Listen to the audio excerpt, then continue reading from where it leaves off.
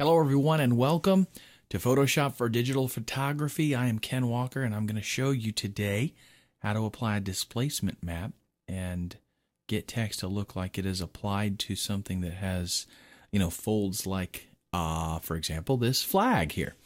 I had a subscriber request how to do this, so they sent me this image. They got it from istockphoto.com.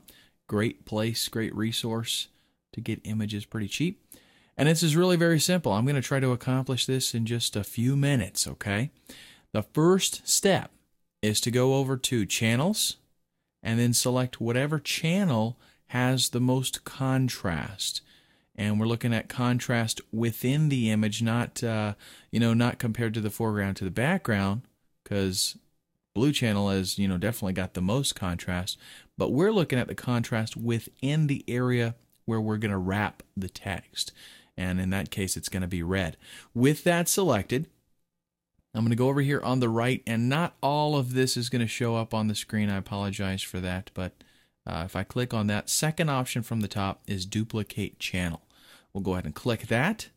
Leave the uh, as part just like it is. For document, though, click the drop down, change that to new, and then we'll give it a name. We're going to call this displacement map flag and we'll go ahead and click OK. And then we want to go up to filter, blur, Gaussian blur, and we want to apply just a bit. You know what? Let me cancel this because whenever I do screen capture, sometimes the uh, area here acts a little bit funny on occasion. Uh, but what we want to do is go ahead and apply a little bit of blur. So blur, Gaussian blur. And just to kind of soften things up, we don't want a whole lot.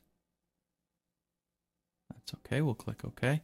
What I might do is do Control L, Command L for you Macintosh users, and just increase the contrast a little bit. Don't need it a whole lot, but Click OK. All right, then we'll go up to File and Save. Displacement map flag. Go ahead and save it. And then we can, in fact, close that document now. And here is the regular flags. We got to go back to channels, click on RGB so we get all the colors back, right? Go to layers, and then we'll select the text tool or the type tool, however you want to say that. Click right here and we'll type I love Photoshop.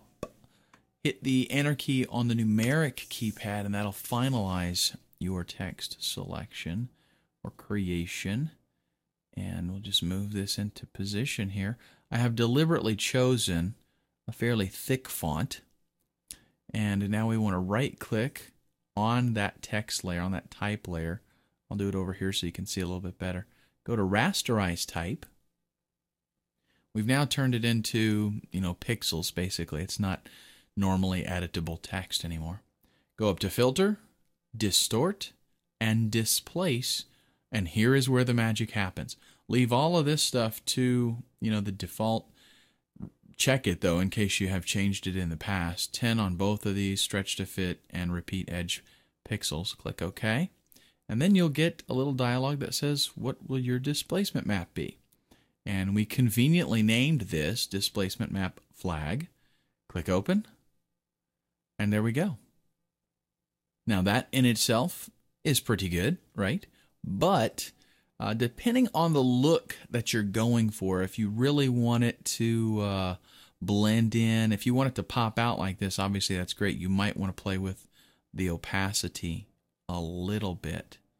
You know what I'm saying? But another thing that we can do is to change the blending mode to overlay.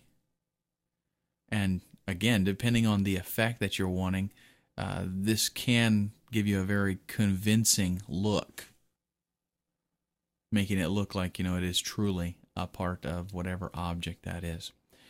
So anyhow, that is my tutorial. Some of you have posted some comments about, you know, whether my mic settings and uh, how do I sound the way that I sound, whatnot. I do want to say that I'm a professional trainer.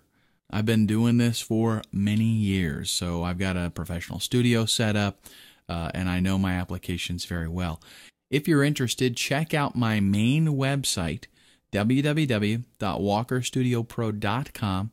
I've got sample training, I've got uh, samples of promotional videos that I've created, and you can check all that stuff out. So, Photoshop is just one of the things that, number one, I use it in my business, the things that I do, and number two, I do train on it as well. I'm Ken Walker. Thanks for watching. I hope that helps you out.